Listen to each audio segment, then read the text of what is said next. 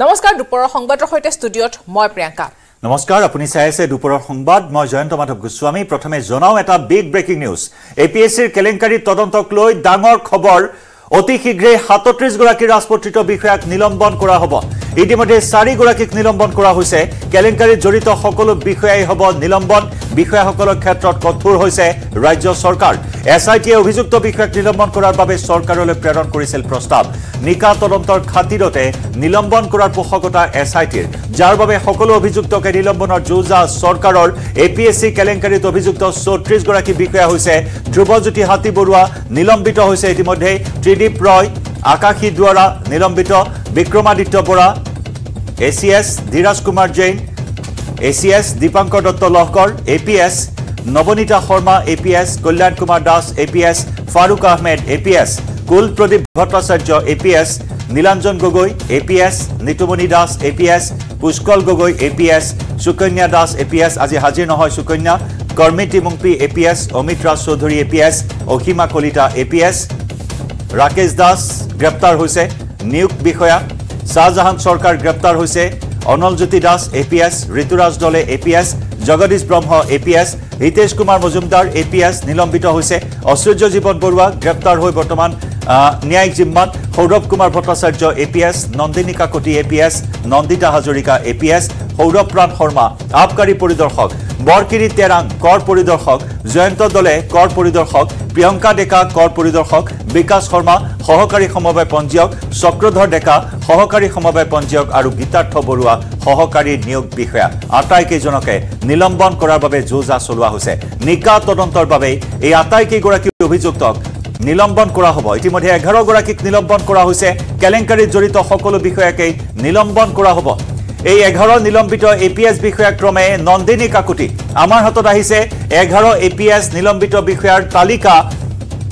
এই তালিকা অনুসৰি এ পি এছ বিষয়া Nandini Kakati A P S Shahjahan Sarkar A P S Faruk Ahmed A P S Kalyan Kumar Das A P S Kul Pradip Bhattacharya A P S Nilanjan Gogoi A P S Analjyoti Das A P S Aishwarya Jiban Baruah A P S Nitumoni Das A P S Rumir Terangpi A P S Dipankar Dutta Lahkar এই এঘাৰগৰাকী এ P S বিষয়াক নিলম্বন কৰা হৈছে। পুৱাৰ ভাগত চাৰিজনক নিলম্বন কৰাৰ খবৰ আমি জনাইছিলোঁ। ধ্ৰুৱজ্যোতি হাতী বৰুৱা আকাশী দুৱাৰা তাৰ লগতে ধীৰাজ কুমাৰ জৈন আৰু A P S Hitesh Majumdar এই চাৰিজনক নিলম্বনৰ খবৰ আহিছিল আৰু এইখিনি মুহূৰ্তত আন এঘাৰগৰাকী এ পি এছ বিষয়াক নিলম্বন কৰা হৈছে।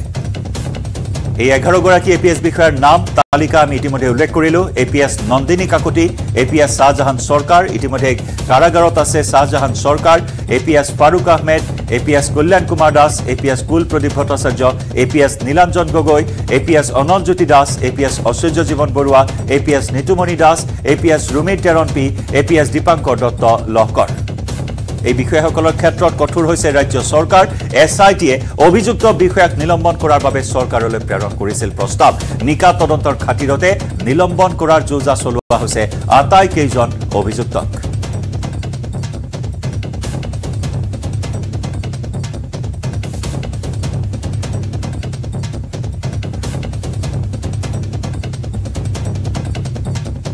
চি কেলেংকাৰীত নিলম্বন হ'ব সাতত্ৰিছগৰাকী বিষয়া এ পি এছ চি কেলেংকাৰীত চাৰিজনক ইতিমধ্যে নিলম্বন কৰা হৈছে। ধ্ৰুৱজ্যোতি হাতী বৰুৱা আকাশী দুৱাৰা ধীৰাজ কুমাৰ জৈন হিতেশ মজুমদাৰ ইতিমধ্যে চাৰিজনক নিলম্বন কৰা হৈছে আৰু চৌত্ৰিছগৰাকী বিষয়া নিলম্বন হ'ব। ইতিমধ্যে আমাৰ নামসমূহ টেলিভিছন স্ক্ৰীণত দেখুওৱা হৈছে। এইসকল অভিযুক্ত বিষয়াক নিলম্বন কৰা হৈছে।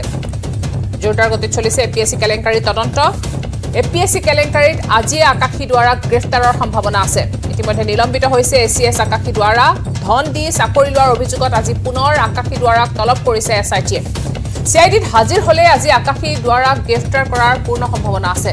আকাশী দুৱাৰাৰ কেতবোৰ বিস্ফোৰক তথ্য পোহৰলৈ আহিছে। বক্ৰপথেৰে চাকৰিলৈ কোনো এক অদৃশ্য শক্তিৰ বাবে গ্ৰেপ্তাৰৰ পৰা সাৰি আছিল আকাশী দুৱাৰা এ পি এছ চি সদস্য বসন্ত দলেৰ ঘৰত উদ্ধাৰ কৰা হৈছিল আকাশী দুৱাৰাৰ বায়'ডাটা। আকাশী দুৱাৰৰ পৰীক্ষাৰ বহীত বঢ়াই দিয়া হৈছিল দুশ বিছ number. A P S C কেলেংকাৰী নিলম্বিত হ'ব সাতত্ৰিছগৰাকী বিষয়া কোনো সাৰি নাযাব। এই সকিয়নি এই মন্তব্য মুখ্যমন্ত্ৰী ডক্টৰ হিমন্ত বিশ্ব শৰ্মাৰ। লগতে এই একেই প্ৰতিক্ৰিয়া প্ৰকাশ কৰিছিল আৰক্ষী সঞ্চালক প্ৰধান জি পি সিঙেও। আটাইসকলৰ বিৰুদ্ধে ব্যৱস্থা গ্ৰহণ কৰা হ'ব। তথ্য প্ৰমাণ সংগ্ৰহৰ কাম চলি আছে ফৰেনচিক পৰীক্ষাৰ কাম চলি আছে আৰু তাৰ মাজতে এটা নিকা তদন্ত প্ৰক্ৰিয়াৰ বাবে এছ আই টিয়ে চৰকাৰৰ ওচৰত আবেদন নিলম্বনৰ বাবে আৰু সেই মৰ্মে বৰ্তমান আটাইকেইজন বিষয়াক নিলম্বনৰ যৌজা চলাই থকা হৈছে। আন এঘাৰগৰাকী এ পি এছ বিষয়াক নিলম্বন কৰা হৈছে। A P S Nandini Kakati Shahjahan Sarkar A P S Faruk Ahmed Kalyan Kumar Das. A P S Kul Pradip Bhattacharya Nilanjan Gogoi. A P S C কেলেংকাৰী তদন্তৰ এই মুহূৰ্তত ডাঙৰ আপডেট আমি জনাই আছো। পি এছ বিষয়াক নিলম্বন কৰা হৈছে। ইয়াৰ পূৰ্বে তিনিগৰাকী এ চি এছ আৰু এগৰাকী এ পি এছ সহ চাৰিজনক নিলম্বন কৰা হৈছিল। দুজনক ন্যায়িক জিম্মালৈ প্ৰেৰণ কৰা হৈছে। আৰক্ষীৰ জিম্মাত আছে ৰাকেশ দাস আৰু তাৰ মাজত এয়া ডাঙৰ খবৰ এ পি এছ চি নিযুক্তি কেলেংকাৰী। দুহেজাৰ তেৰ বৰ্ষৰ বিয়াগম নিযুক্তি কেলেংকাৰীৰ এইসকল অভিযুক্তৰ বিপদত পৰাৰ পাল। সতীৰ্থ সাংবাদিক বীৰেঞ্চি কুমাৰ ডেকাৰ সৈতে সংযুক্ত হৈছো। বীৰেঞ্চি বিগ ডেভেলপমেণ্ট এইখিনি মুহূৰ্তৰ সাতত্ৰিছজনৰ বিৰুদ্ধে নিলম্বনৰ ব্যৱস্থা লোৱা হ'ব। এই মুহূৰ্তৰ এঘাৰজন এ পি এছ বিষয়াক নিলম্বন কৰা হৈছে।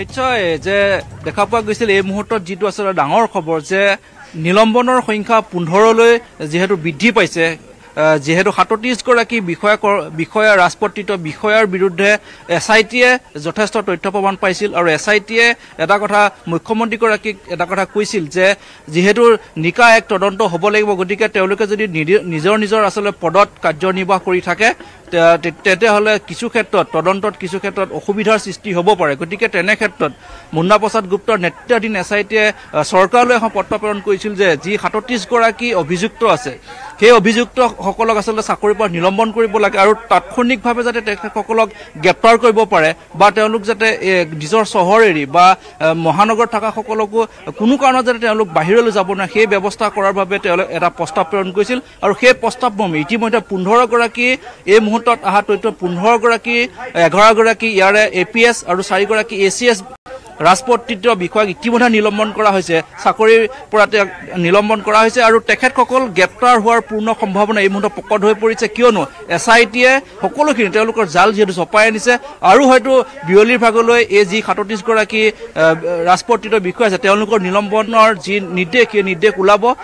আজি বিয়লিৰ ভাগলৈ গোটেই সাতত্ৰিছগৰাকী বিষয়া আছিলে তেওঁলোকৰ পদবীত নাথাকিব নিলম্বিত হ'ব।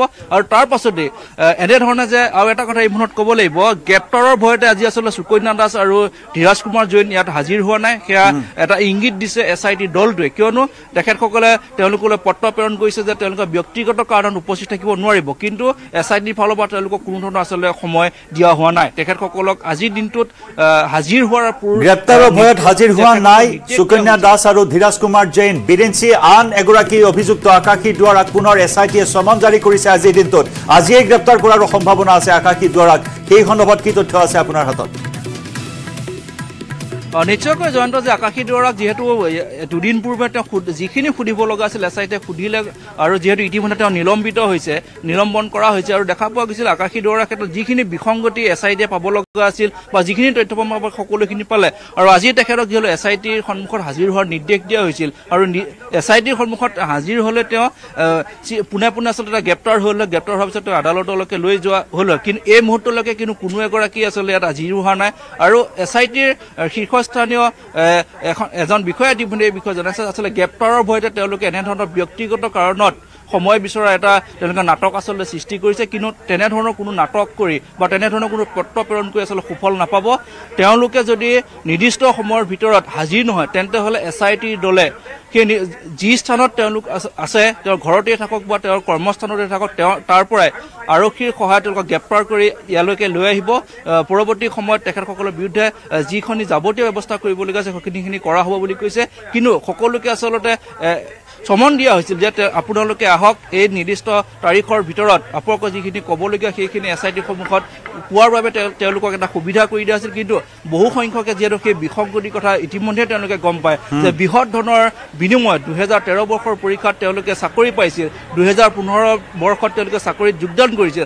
ইয়াৰে যিহেতু চৌত্ৰিছগৰাকী ইতিপূৰ্বে গ্ৰেপ্তাৰ হৈছে আৰু দুহেজাৰ ষোল্ল চনৰ পৰা আজি তাৰিখ কালিৰ দিনটোলৈকে আচলতে তেওঁলোকে কাৰ্য নিৰ্বাহ কৰি আছিল। গতিকে সেই সকলোখিনি তেওঁলোকে যিহেতু তেওঁলোকে ইতিমধ্যে গম পাই গৈছে তেওঁলোকৰ বিপদ সমাগত। গতিকে তেখেতসকলে এনেধৰণৰ এটা নাটক নিশ্চয় এতিয়া কথা হ'ল গ্ৰেপ্তাৰ কেতিয়া কৰা হ'ব পাৰে এইসকলক সেয়া এই মুহূৰ্তত ডাঙৰ প্ৰশ্ন সকলোৰে মাজত একেটাই প্ৰশ্ন যে একেটা অভিযোগত একেটা দোষত ইয়াৰ পূৰ্বে আন সাতাৱন্নজনক গ্ৰেপ্তাৰ কৰা হৈছে চাকৰিৰ পৰা বৰ্খাস্ত কৰা হৈছে।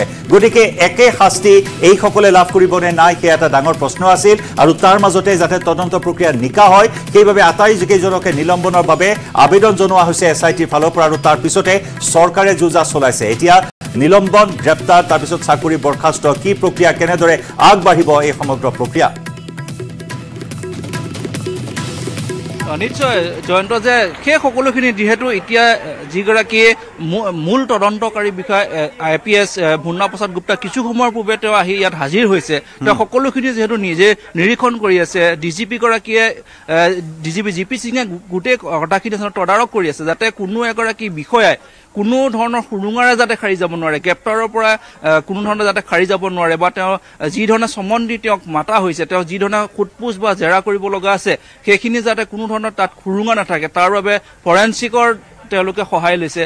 অন্য যিখিনি তথ্য পাতি গোটাবৰ বাবে যিখিনি তেওঁলোকে কৰোণে সকলোখিনি ইতিমধ্যে কৰা হৈছে। গতিকে এই মুহূৰ্তত এটা কথা স্পষ্ট যে এই যিহেতু পোন্ধৰগৰাকীলৈ বৃদ্ধি পাইছে নিলম্বিত ৰাজপত্ৰিত বিষয়াৰ সংখ্যা গতিকে এইসকলক শীঘ্ৰে কিন্তু গ্ৰেপ্তাৰ হয়তো আজি নিশাৰ ভাগত তেওঁলোক গ্ৰেপ্তাৰ হ'ব নাইবা কালিলৈ দিনটোৰ ভিতৰত গ্ৰেপ্তাৰ হ'ব কিন্তু গ্ৰেপ্তাৰ হোৱাটো প্ৰায় নিশ্চিত। তেওঁলোকৰ বৰ্তমান চাকৰিৰ পৰা কিমান আহ, কিমান তেওঁলোকক সময় বান্ধি নিলম্বন দিয়া কৰা হৈছে? কিমান সময়ৰ ভিতৰত চমন জাৰি কৰা হৈছে? তেওঁলোক এছ আই টিত হাজিৰ হ'ব লাগিব। যদি হাজিৰ নহয় কেনেদৰে অভিযান চলোৱা হ'ব? কাৰণ ৰাকেশ দাস সহকাৰী নিয়োগ বিষয়া ৰাকেশ দাসক ইয়াৰ পূৰ্বে গুৱাহাটীৰ এক নাটকীয় অৱস্থাত গ্ৰেপ্তাৰ কৰা হৈছে। বাহিৰৰ পৰা তলা লগাই ঘৰৰ ভিতৰত আত্মগোপন কৰি থকা অৱস্থাত ৰাকেশ দাসক গ্ৰেপ্তাৰ কৰা হৈছে। গতিকে একেই পন্থা অৱলম্বন কৰা হ'ব নেকি সেইসকলৰ বিৰুদ্ধে যিসকলে এছ আই টিত হাজিৰ হোৱা নাই? নিশ্চয়কৈ এইগৰাকী ৰাকেশ ৰাকেশ দাসক আচলতে আৰক্ষীয়ে কিছুদিন পূৰ্বে আচলতে এছ আই টিত হাজিৰ হ'বলৈ নিৰ্দেশ দিছিল। তেওঁৰ বিৰুদ্ধে ভয়ংকৰ অভিযোগ আছিল যে তেওঁ পৰীক্ষাত বহিছিল কিন্তু বহীত একো লিখা নাছিল। তেওঁৰ হৈ বেলেগে লিখি দিছিল। গতিকে সকলোখিনি তথ্য আছিল। আৰু তাৰ পাছত যেতিয়া তেওঁৰ ঘৰত যেতিয়া অভিযান চলাইছিল তেওঁ কিন্তু পলাইছিল। আৰু পৰৱৰ্তী সময়ত এছ আই টিয়ে সকলোখিনি নিৰীক্ষণত ৰাখিছিল। আৰু যেতিয়া এটা সুত এটা উৎসৰ পৰা গম পালে যে তেওঁ আহি মহানগৰীৰ এটা বনবননিৰ এটা ঘৰত তেওঁ আত্মগোপন কৰি আছে তাৰ পৰাই তেওঁক যিহেতু গ্ৰেপ্তাৰ কৰি লৈ আহিছে যে বাকীসকল বিষয়াৰ ক্ষেত্ৰতো তেনেধৰণৰ ব্যৱস্থাই গ্ৰহণ কৰে কাৰণ সকলোকে এটা নিৰ্দিষ্ট দিনৰ ভিতৰত হাজিৰ হোৱাৰ যিহেতু নিৰ্দেশনা দিয়া হৈছে যদি তেওঁলোকে সেই নিৰ্দেশ অমান্য কৰে নিশ্চয়কৈ সেই আৰক্ষীৰ সেই স্থানীয় আৰক্ষীৰ সহযোগত তেখেতক গ্ৰেপ্তাৰ কৰি এছ আই টিলৈকে লৈ আহিব আৰু পৰৱৰ্তী সময়ত তেওঁলোকৰ বিৰুদ্ধে বিভিন্ন ধৰণৰ ধাৰা লাগিব। কাৰণ তেওঁলোকক যিহেতু এটা নিৰ্দিষ্ট সময়ৰ ভিতৰত হাজিৰ হোৱাৰ নিৰ্দেশ দিয়া হৈছে সেইসমূহ যেতিয়া অমান্য কৰিব তেওঁলোক যেতিয়া আত্মগোপন কৰিব বা পলায়ন কৰিব তেওঁলোকৰ বিৰুদ্ধে অন্য কিছু ধাৰা যিহেতু ইয়াত সংযোগ হ'ব তেতিয়া হয়তো আৰু বিপদ বাঢ়িব এই শিকল বিষয়াৰ গতিকে এই ক্ষেত্ৰত আজিৰ দিনটোত যিহেতু এই দুগৰাকী বিষয়া তেওঁলোকৰ ব্যক্তিগত কাৰণ দেখুৱাই হাজিৰ হোৱা নাই এই মুহূৰ্তলৈকে আৰু তদন্তকাৰী বিষয়াও এই মুহূৰ্তত এটা কথাই সন্দেহ কৰিছে যে গ্ৰেপ্তাৰ হোৱাৰ ভয়তে আচলতে তেওঁলোকে এনেদৰে এছ আই টিৰ হাজিৰ হোৱাৰ পৰা বিৰত আছে। এঘাৰজন এ পি এছ বিষয়া আমি এই নামকেইটা পুনৰবাৰ জনাব বিচাৰিম। বিৰিঞ্চি আপুনি আমাৰ সৈতে সংযুক্ত হৈ থাকক। এঘাৰগৰাকী এ পি এছ বিষয়াৰ বিৰুদ্ধে কঠোৰ ব্যৱস্থা এই মুহূৰ্তত গ্ৰহণ কৰা হৈছে। সাতত্ৰিছগৰাকীকে নিলম্বন কৰা হ'ব আৰু ইতিমধ্যে এঘাৰগৰাকী এ পি এছ বিষয়াক নিলম্বন কৰা হৈছে। সুকন্যা দাস আৰু ধীৰাজ কুমাৰ জৈন এই দুগৰাকীক আজি চমন জাৰি কৰা হৈছে যদিও এই মুহূৰ্তলৈকে দুয়োগৰাকী উপস্থিত নহ'ল গতিকে অতি শীঘ্ৰেই গ্ৰেপ্তাৰ কৰা হ'ব এইসকলক আমি জনাইছোঁ এঘাৰজনীয়া এই তালিকা A P S Nandini Kakati A P S Shahjahan Sarkar A P S Faruk Ahmed A P S Kalyan Kumar Das A P S Kulpradip Bhattacharya A P S Nilanjan Gogoi A P S Amal Analjyoti Das A P S Aishwarya Jiban Baruah A P S Nitumoni Das A P S Rumir Terangpi A P S Dipankar Dutta Lahkar A P S C কেলেংকাৰীত অভিযুক্ত আটাইসকলৰ বিৰুদ্ধে এতিয়া কঠোৰ হৈছে S I T বিৰিঞ্চি যদি চোৱা যায় এই দুহেজাৰ তেৰ বৰ্ষৰ পৰীক্ষাই বাতিল কৰিবলৈ পৰামৰ্শ আগবঢ়াইছিল বিপ্লৱ শৰ্মা আয়োগৰ প্ৰতিবেদনত। কিন্তু সেই পৰামৰ্শ কাৰ্যকৰী নহ'ল। তাৰ সমান্তৰালকৈ চৌত্ৰিছজনক ৰক্ষণাবেক্ষণ দিয়া হ'ল বিগত আঠটা বছৰে। কোনো ধৰণৰ ব্যৱস্থা গ্ৰহণ কৰা নহ'ল। আৰু অৱশেষত ন্যায়ালয়ৰ নিৰ্দেশ মৰ্মে এছ আই টি গঠন কৰিলে চৰকাৰে আৰু তাৰপিছত এই প্ৰক্ৰিয়া আৰম্ভ কৰা হৈছে। অতি বিচিত্ৰ আছিল সমগ্ৰ প্ৰক্ৰিয়াটো। বিৰিঞ্চি যদি চোৱা হয় কোনোৱে পৰীক্ষাত বহাই নাছিল এটাও উত্তৰ নিলিখাকৈ এ চি এছ বা পি এছ বিষয়া হৈছিল আনকি কোনোৱে আকৌ মেইনছ ক্লিয়াৰে কৰা নাছিল কাৰোবাৰ আকৌ আঠখনকৈ উত্তৰ বহি লাভ কৰা হৈছিল। আৰু সেইসকলৰ নমুনা ইতিমধ্যে দেখিব পৰা দেখিবলৈ পোৱা গৈছে যে ৰাকেশ দাসে নলবাৰী শব্দটো ইংৰাজীত ভালদৰে লিখিব নোৱাৰিলে।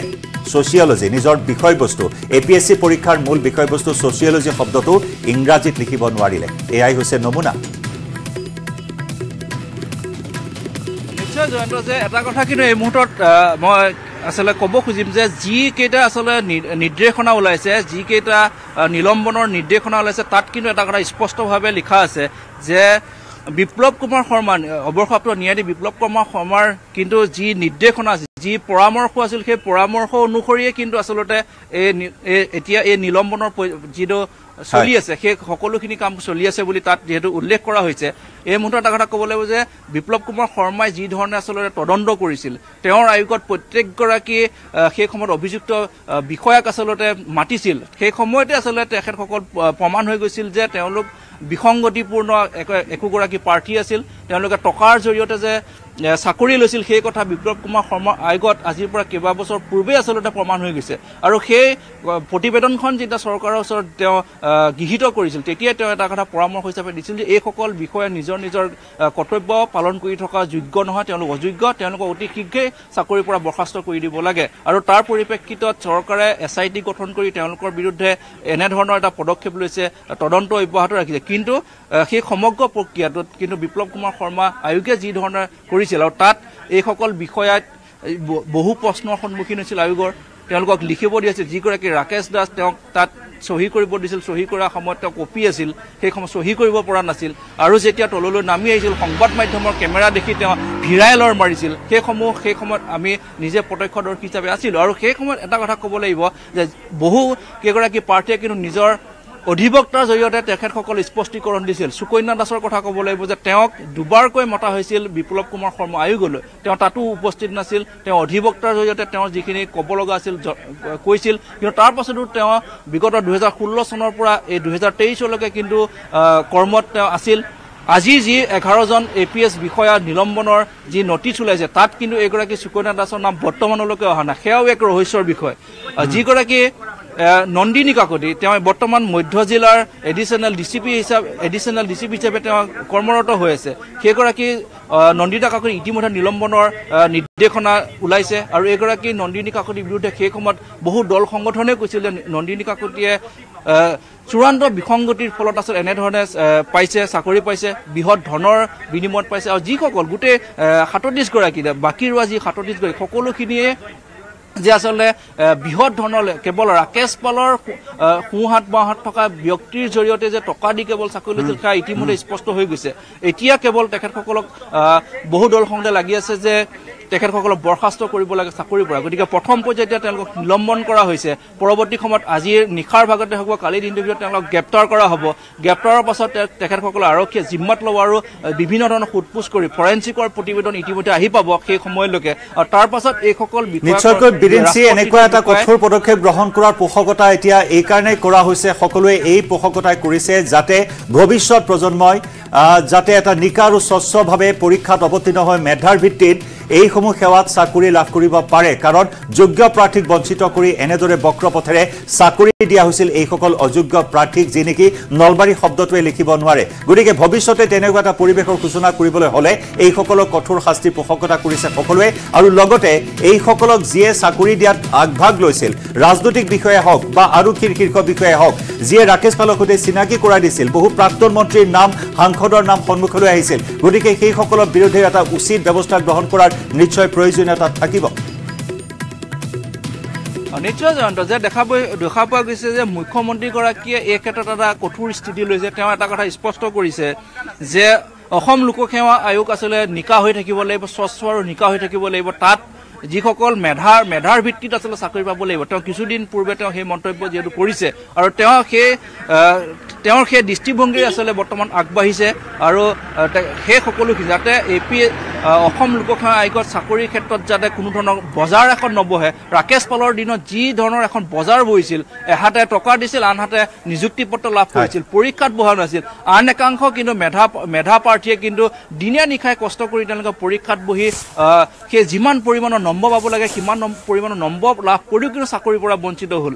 গতিকে তেনে ক্ষেত্ৰত এতিয়া অসম লোকসেৱা আয়োগলৈ আঙুলি টোৱাইছিল সেই সময়ত সকলোৱে এটা কথা কৈছিল যে অসম লোকসেৱা আয়োগ মানে যেন টকাৰ খেল সেই কথাখিনি দুহেজাৰ তেৰ বৰ্ষত বা দুহেজাৰ চৈধ্য বৰ্ষত সেই সময়ত প্ৰমাণ হৈছিল। গতিকে সেই সকলোখিনি সেই দাগ এতিয়া নাইকিয়া কৰিব বিচাৰিছে এইগৰাকী মুখ্যমন্ত্ৰীয়ে আৰু ডি জি পিগৰাকীয়ে সেই সকলোখিনি সহযোগিতা কৰিছে। গতিকে এই মুহূৰ্তত ক'ব লাগিব যিহেতু পোন্ধৰগৰাকী ৰাজপত্ৰিত বিষয় এতিয়া ইতিমধ্যে তেওঁলোকক নিলম্বন কৰিছে আৰু তেখেতসকল গ্ৰেপ্তাৰ হ'ব। এনেধৰণৰ এটা পদক্ষেপে এতিয়া যিসকল নৱপ্ৰজন্ম আছে যিসকল এনেধৰণৰ অসম লোকসেৱা আয়োগৰ যিকোনো চাকৰিৰ বাবে যিসকল আগ্ৰহী বা এনেধৰণৰ সেৱাৰ বাবে আগ্ৰহী সেইসকল মেধা মেধাৱী ছাত্ৰ ছাত্ৰী নিশ্চয়কৈ এতিয়া যথেষ্ট এই ক্ষেত্ৰত তেখেত উদ্বুদ্ধ হ'ব আৰু কোৱা গৈছে যে তেখেতসকলে পঢ়া শুনা কৰি এতিয়া পৰীক্ষা দি যে চাকৰি ল'ব পাৰিব সেই পৰিৱেশ এটা পুনৰ ঘূৰি অহাৰ বাবে মুখ্যমন্ত্ৰীগৰাকীয়ে প্ৰচেষ্টা হাতত লৈছে। গতিকে এনেধৰণৰ ৰাজপত্ৰিত বিষয়া যি টকা লৈ কেৱল চাকৰি কৰি আছে কেৱল টকা দি তেওঁলোকে চাকৰি লৈছিল সেইসকল বিষয়াৰ বিৰুদ্ধে কঠোৰতকৈ কঠোৰ ব্যৱস্থা লোৱাৰ বাবে ইতিমধ্যে দাবী উত্থাপন হৈ আহিছে। ধন্যবাদ। বিৰিঞ্চি এইখিনি মুহূৰ্তত ধন্যবাদ। আমি জ্ঞাপন কৰিছোঁ আপোনাক। আপুনি দৃষ্টি ৰাখক। আজিৰ দিনটোত আৰু কি ডেভেলপমেণ্ট হয় যিহেতু জোৰদাৰ গতিত এই তদন্ত চলি গৈছে। এটাৰ পিছত আনটো ডাঙৰ খবৰ আহিছে। প্ৰথমে চাৰিজনক নিলম্বন। এই আন এঘাৰগৰাকী এ পি এছক নিলম্বন কৰা হৈছে। আটাইকেইগৰাকীৰ বিৰুদ্ধে কঠোৰ পদক্ষেপ গ্ৰহণ কৰিব অতি শীঘ্ৰেই। আটাইকেইজনক নিলম্বনৰ সিদ্ধান্ত গ্ৰহণ কৰিব ঘোষণা কৰিব নিলম্বনৰ কথা। নিকা তদন্তৰ স্বাৰ্থত এনেকুৱা এটা পদক্ষেপ গ্ৰহণ কৰা হৈছে। নিলম্বন নে তাৰ পিছত বৰ্খাস্ত হ'ব তাৰ বাবে অপেক্ষা কৰিব লাগিব।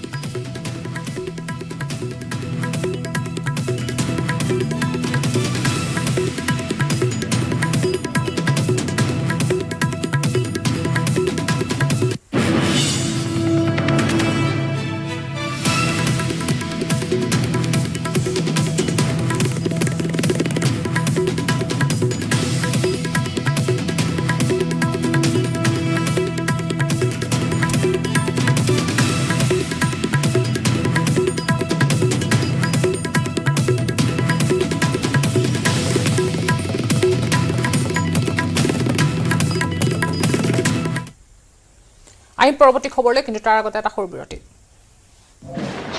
স্টিল